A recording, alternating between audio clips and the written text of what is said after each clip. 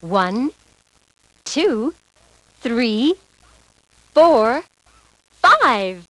Five feathers. Five take away one is four.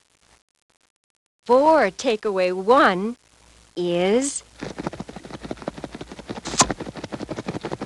three. Three take away one is two.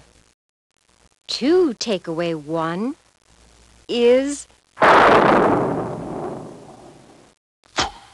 one.